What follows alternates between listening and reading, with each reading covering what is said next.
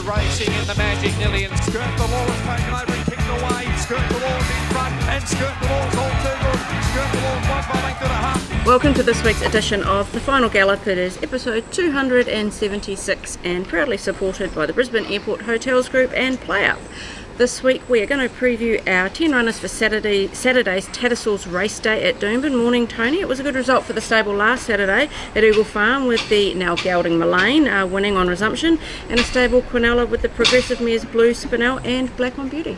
Yeah, good morning, Claire. Good morning, everyone. Uh, yeah, it was a good day last Saturday at Eagle Farm. I'm amazed at how that track played. Yes, After, after we spoke here on Thursday morning when we do this show, um, Thursday night, very early hours of Friday morning, the rain come in, and yeah. I think when we did this show last week, we said mostly fine weather and, and a good forward track, and That's we ended not up getting happened. yeah a lot of rain. The heaviest rain I think we've had uh, just over this area anyway in Yeah. all of summer. It's just come down quick. We had nearly 200 mil Mm-hmm. by race time on Saturday, so that was even with a couple of sun showers on Yeah. this on the Saturday mid uh, around lunchtime. So it was um the track did an amazing job. You know, from very very heavy. Probably raised. They had it down as a seven most today. It raised more like a six all day. That's good. So just it just shows you how good this track is going now at Eagle Farm. So hats off to Jimmy Roberts and his team there, getting this track back now to the track that we always wanted. Mm-hmm. Uh, as far as the racing went on the day, uh, Blue Spinel was really good. Yes. She, um, I don't think you saw her at her best. I think Anne's given her an absolutely really good ride. Black on Beauty loved that bit of cut in the ground. She was, she probably a few things different had had a change in the run. She probably the winner. Mm-hmm. But Blue Spinel got the job done. Just goes to show a mare in such good form. Yes. One on ground doesn't suit it, and Mullane he looked the winner a long way out. Yeah. Um, Maloney had all the time in the world on him and he got the job done. So they were both both really good wins and a good day out for the stable. Before we get into the preview, we're going to have our latest pro, uh, promotion for the Brisbane Airport Hotels Group. This time it is a prize. At uh, the prize is a night at the Pullman Brisbane Airport with a buffet breakfast at the Apron Restaurant. To enter, just go to our Facebook page, look for this week's post about the final gallop, click on the link we provide, and enter your details to go in the draw. Can we enter? No, uh, well, Can I enter? no, Why? no. I You get enough money off, Alex. You don't need a free breakfast. I don't want money. I just want a nice night and breakfast. Be unreal. Anyway, the winner will be announced on uh, next week's show, but it is a great prize the overnight stay and uh, breakfast at Cav's favourite new restaurant. Yeah, he loved it out there. The food is good. Mm. It's really good. I'm actually due for another. Hint, hint. Alex due for another little adventure out there, a little bit of lunch, something like that. It's it's really good out there. Now it's a, another well well worth prize. That one. I think all these prizes. Be I don't bet the lunch with Cav. No, no, no, that was a fair, prize. But I mean yeah. the rest. Really really good prizes.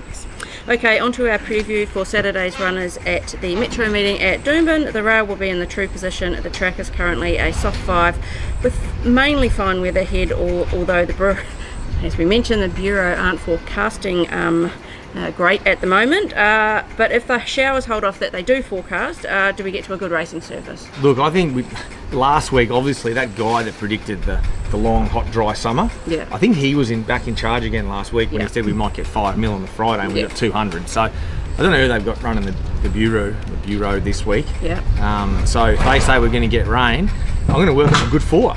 Okay. I reckon we'll have hot, dry days. So who knows? Like, They just totally get it wrong. They get it wrong more than we do on this show doing tips. So uh, I'm paying no attention to them. Unfortunately, when it comes to this time of year in Queensland, we need to be just we need to be looking at what's happening all the time, every day, with far as the weather goes. Um, because if they say you're going to get a shower, sometimes you get two inches. Who Yes. knows? But I'll work off good ground at the moment. We'll just see what the weather brings. Obviously, Doomben is not like Eagle Farm. Any rain close to the meeting or on the day of the races will change the track Yeah. dramatically. Um, where Eagle Farm can with, can withstand that heavy rain the day before, and we get nice weather, drains beautifully. So totally different surfaces. Both tracks racing really, really well. I think we just got to uh, keep it right to the sky. And at the moment, I'm just going to go with a good four. Okay. We'll start with race three, which is the class three handicap over the 1350 metres. We will have four runners in this. The first one we'll talk about is Kokonotsu, or Morris as he's fondly known as Round the stables. He'll carry 59 kilos with Jimmy Orman riding him barrier five. Um, he is first up on Saturday after a couple of nice trials and a jump out. Uh, he won three races for us last preparation over further, but wasn't far off first up over the same trip. Yeah, he's in really good. He's in really good nick. You suggest it's probably a touch short for, for what he wants, but the low draw helps him. He's going to get a lovely run. He's very fit and well for the start of his prep, and he, he's come back a better horse. This is the second time now in, into the system that we have mm-hmm. here, and he's enjoying it. He's enjoying his life, this horse. So he'll jump. He'll find a forward position. I don't think he'd lead at 1350, but he'd be just there behind them. Yeah. He'll present. He'll certainly be improved then out to the mile. Will, will suit him better. But he, he's certainly, definitely a top four hope in a race like this. Uh, our second runner we'll talk about is Blazing Boots, 57 and a half kilos, Ryan Maloney on board. He has drawn barrier 10. He's another one that's first up on Saturday following a similar program of trials and jump outs as Kokonotsu, and he did win impressively for us first up uh, at this um, track and distance last preparation. Just drawn a little bit awkward. This guy. He's going really well. He's had a very similar prep and prep to Kokonotsu, and yet against his second time, re- uh, second time for a spin around our system here. So Yeah. last time he was he was good, and I think we, I think I can train him and plan him a little bit better for the second time around, know him a little bit better now. Probably got to, these two are used to racing against each other as well, Kokonotsu and Blazing Boots. Probably ride him a little bit conservative from where he's drawn. Just try and find a midfield or worse spot with a bit of cover and run on. He can run well. It's just a matter of where he ends up in running. But I've been really happy with his jump outs and trials. He's very similar to that horse. Mm-hmm. They've had great preparations and, and they're certainly ready to kick off over this trip. Okay, the third He's probably a bit sharper, blazing Sharper, boots, I okay. think, over the 1350. I think Kokonotsu, he, he- he really he really likes this run to get to the mile. Okay. The third runner we have is Sacred Feel- Feeling. She'll carry 54 and a half kilos. Angela Jones will ride her. She's drawn barrier 13. She's another one that is first up after two trials and a jump out. Uh, it was her first racing preparation last time with two wins over further after a fast finishing third on debut at the same trip. Same trip, yeah, same trip, different track. Yeah. That was at Ipswich. Yeah. Um, lovely filly, lovely mare. This, she's probably the horse I think with the most most upside out of this crew. Okay. I've had a beautiful preparation with her. Um, she's the same preparation as the other two horses we just mentioned, Mm-hmm. to um, sort of two two grass trials, etc., and, and a jump out in between. So she's well ready. She'll be ridden nice and quiet from the gate and ridden to run on. So she just needs the race to pan out for her. She'll be in the second half of the field somewhere. Okay. We really see her hitting the line. She, she's a mare I, I particularly like. Mm-hmm. Still not totally sure where her distance, where her optimal distance is, Yeah. but she's a mare with very good ability. The fourth one is Snowboom. She's uh, down to 52 kilos with CJ Graham riding, and she'll use uh, a kilo and a half claim. She's drawn barrier three. Uh, she's rock hard fit this mare and is coming off a nice win from the front last start at this same track and trip. Uh, likes her races a little bit spaced and is 23 days between runs. Yeah, it won't hurt. I'll do a good this. She's a lovely, lovely mare. This one. I, she went out to the 1350 for the first time, and I must admit, under Ryan Maloney's sort of guidance there, getting her out to the 1350, I wasn't sure whether to put blinkers on her and keep her at the same trip or put her out. So we put her out in distance and, and got the job done. And there's been quite a few winners out of that race already. Well, there's been at least two that I know of come out of that race already. She controls speed up front really well. Whether she'll control speed here or she just sort of box seats, she's somewhere in the first four. She's a lovely forward running filly. She seems to be able to quicken nicely being up on pace. That sort of suits her style of racing. So with a lightweight, we're going to be right up on speed. We know she runs the trip. She did it well the other day, and she'll do it well again. So I got I got the basis sort of covered as far as where they're going to be in running. Yeah. With Snowboom up up the front, I'd suggest with Kokonotsu not far behind her. Um, Blazing Boots mid to back, and then you got Sacred Feeling is going to going to be back. So they, they're all going to find their right spot. It's just a matter of, of how the race sort of pans out and what luck and running, and also how the track plays. But Yeah. four nice horses for the race. Snowboom's and one up fit. Um, Sacred Feeling probably possesses the most ability long term. So, look, I, I, I think the race is a is a tricky race to have an absolute bet in for mine, okay. but all four are going very well. Race five is the QTIS jewel prelude for two-year-old fillies uh, over the 1100 metres, 1110 metres. Sorry, uh, we've got two runners on debut. Sandy Grip will carry 56 and a half kilos. Ryan Maloney will ride her. She's drawn barrier 13. She's a lovely pride of Dubai filly that you did buy at uh, last year's Magic Millions QTIS sale. She's had a good dirt jump out, followed by an impressive barrier trial last week, but the barrier won't help her much.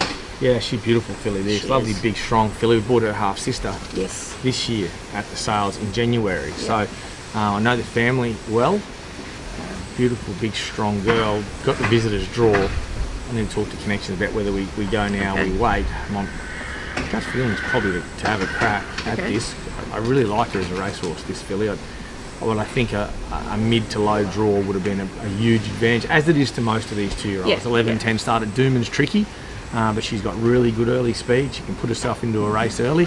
Um, the, the worry from that wide draw, it's just being posted on a limb, makes life pretty tough. But she's above average. Yeah. A lovely filly that's going to continue to to race well after her first up run, she'll train on nicely. She's a filly I've got a good opinion of. The second runner we have is uh, Tiye. She'll carry 56 and a half kilos with Angela Jones riding her. She's drawn barrier three. Uh, she is by American Pharoah and has won both her official trials uh, this time in and uh, is a nice draw for her. Being very progressive, this filly. She reminds me a lot of the winner we had yesterday, Torabella. Okay. Um, just progressing beautifully through the prep. Both trialled the same day. Deegan went to the Sunshine Coast and were both dominant going away from their fields. And and this filly since I thought her work on I've had a good two and a half weeks since that trial now, which is ideal. Her work on Tuesday I thought was excellent. She only had a couple of pieces of work since then and I've been very happy with physically how she's done. She's done very, very well. So the low draw is a plus. Ange Jones knows her well, rides her every day. Uh, she'll bounce, she'll posse up handy to the speed. Uh, whether she's right there or just behind them, it's not going to bother me. Uh, she's a quality filly, got good, got good ability. So I have her on Top. purely because of gait. Yep. Um, but she's a filly I particularly like. I think she's one of my better chances on Saturday. Okay. Race six is the Class Six plate over the 1350 metres. Brentwood will run in this 58 and a half kilos. Angela Jones rides him from barrier seven. Uh, he did win first up at Doomben before a length and a half third at Eagle Farm last start. He did win comprehensively last prep at this track and trip from a similar draw too. Lovely horse, going super. Um, plate conditions don't suit him well. The favourite's obviously in very well at the plates, and when often when you get these plate races, plate races are horses that you get weighted by the amount of wins you've had or the class of horse you are, not the rating you are. So if you look at the ratings here, the favourite's in very very well as opposed to us carrying the same weight. Um, but what you can't deny this horse is he's a very nice horse around Doomben. He runs his best races at Doomben. He loves the footing underfoot. He, he, he doesn't run his best races at Eagle Farm, and he always improves third up into a prep. So his second up stats are always a little bit iffy, but I think that was his best ever second up run was, at a venue that he doesn't normally perform his best at. So he's in for a great prep. Um, I wish this was a Class 6 handicap. I don't always get what we wish for. But I love his racing pattern. I think he races forward here either he sits anywhere one, two, three, four. He obtains a really good run. Uh, and Jones on knows him well also. So Jimmy Orman's his, his most successful rider. Yeah. He's obviously on the favourite. I think Ange will do a great job on him. Any rain on the day, this horse this horse for a Vinny, Yeah. he can really get through wet ground. So he's a he's a he's a lovely horse. I, I can't see why he wouldn't run top 3 Mm-hmm. Just under the scale of this race, he's just not a he's not a, a great win bet. Okay. Race 8 is the open handicap over the 1200 metres. We will have three in this. We'll start with Ranch Hand, uh, 56 and a half kilos. Ryan Maloney will ride him at barrier 7. He is new to our stable and he is a stakes winner as a three year old and also a dual group place getter. Uh, he's looking to find some of his old form uh, with his move up north. He did have a good trial last week without being asked to, for too much of an effort. Yeah, I really like him. I thought he raced probably too close to his top last week at the trials. Uh, in a perfect world, would I given him one one more jump out? Maybe I would have. He's very fit. He worked on the course properly here Tuesday with Antino, and his recovery is amazing. So he's a really fit horse. Um, we're just riding back midfield. It's very similar to what you saw of Mullane last week. Okay. Ridings to get up behind them and finish the race off. I'd expect him to run top three here. I think he's a nice horse. Okay.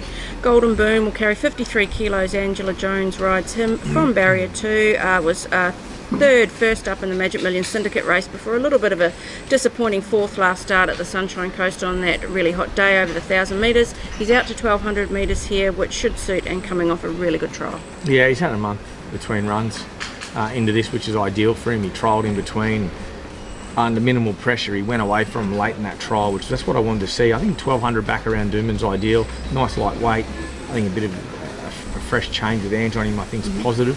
Um, I'm really happy with the way the horse is going. His work yesterday morning, was, uh, Tuesday morning, was terrific. He looks really, really well. So this is, I really want to see him bounce back here. He's shown me no signs that he won't. Yep. I'm very happy with him. He's my leading chance in this race. Okay. The third runner is Shamrock Lou. He'll carry 52 kilos, uh, 52 kilos with Bailey Wheeler on board, barrier 8. Uh, was a good second up first in the class 6, then went back to the rear last start over the 1,000 metres. He did run on strongly, but he was just too far off them. Yeah, he got back too far, got out too wide. Yeah. Messy race. The morals come out and run well since at Ipswich on a leader bias track the other day. So um, I'd forget about that run the other day. His first up run was terrific. It was. I'm not sure if I really want to run him here. I reckon he's drawn awkward here for him. Okay. So we might leave him and see him head to the the big QTIS meeting at the Gold Coast. Okay, so how are you going to split them if if he if he does? If the two horses Yep. that'll run, Yeah. more than likely he will talk about is Ranch Hand and um and Golden Boom. Like Golden Boom on top, he's my best chance for the day. Yeah. I- I'm sure he's my best chance for the day. I just want to see him bounce back and show us. He's he's a quality horse. He's he's minimum Group Three level when he's on song, probably Group Two. Um, so I want to see him bounce back to that form. He is having a preparation after a tie back, so he's got a few things we've got to work out with him. But um, I'm really happy with the horse. So he, he's um for me, I want to see Golden Boom bounce back Saturday. Okay. We are into the final furlong of this week's final gallop, and as you've alluded to, who is your best winning chance at Doomben on Saturday? Yeah, I tossed up between Tiye and Golden Boom. I like both those horses where they're drawn. You know, the races they're in. They're my they're my two picks, and I, I've gone with Golden Boom just because I know I've probably got a bit more of an idea what to expect from him. She's obviously a first starter. okay, your best each way chance. Um, each way chance here, probably go. I'll probably go in the in the um, in the thirteen fifty. I think Sacred Feeling. Okay. I think she'll run a really good race each way. I mean, we want to see horses make ground with that rails back in the true, so you got a lot of track to work with. The, the, the negative on that is that it is race one. You don't really know any perceived bias, but. Um, she's probably the horse. If she doesn't run top three in that, she's not going to be far away. She's going to have that flashing light on her for the prep. She's come back a, a much, much better mare this time. And we only have one at the provincials over the weekend, which is a Greylander at the Sunshine Coast on Sunday. How do you think he'll go? Yeah, good. I've taken the blinkers off him. I trialled him in the blinkers the other day, and he just wanted to overdo things a touch. So I've gone with those back off now. I want to start trying to ride him just a touch quieter if I can, just in behind the speed, not not getting back too far, but just sort of stalk the speed rather than making the speed, Okay. and see if he can finish his race off. So I'd be shocked if he can't run top three in that sort of grade that he's in. Okay. And then as we step him out to 1400 and possibly a mile, that's when you'll see the right horse. So he's, he's an each way play on Sunday, Greylander, and you'll see me step him out to the 1400, and he'll be very hard to beat second up. Okay, your best track worker this week. I love the work of uh, Antino and Ranch Hand on the course proper. That was their only bit of work out there, and it was more for Antino's benefit than anyone else's. And I thought their work was outstanding. Both Yep. horses' recovery great, stride length great. So really happy with what with what I saw there on Tuesday morning. Okay, and your performance from the stable for the week. Um, pretty pretty easy to pick Blue Spinel as far as just how good she's going. We've backed off her now for the Winter Carnival. Okay. Um, stopped. I didn't have the temptation to go to the Gold Coast with her for the Mares race. Military Roads we backed off her for, for Brisbane Carnival. Um, but I'm going to go with Mullane.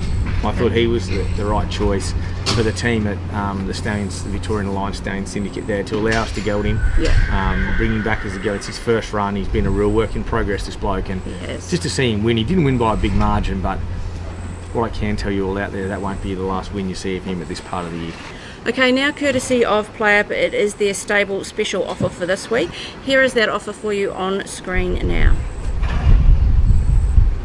Now it is time for Cavs Corner, which is supported by the Brisbane Airport Hotels Group for the second week in a row. The old saying goes, there's nothing surer than the second leg of a failed Cav multi, and that rang true again with Blue Spinel winning after Hidden Wealth missed his first leg, as we just alluded to. Let's see what he's got for us this week. Welcome to Cavs Corner for this week. Last week, one leg again. Anyway, we move on to this week. we'll go to Doomben on Saturday. We'll go Sacred Feeling, a place. Into Golden Boom, a win. Good punting, guys. So he's gone with your each way bet sacred feeling a place into golden boom a win and uh, I think you'd be pretty happy about that. I am.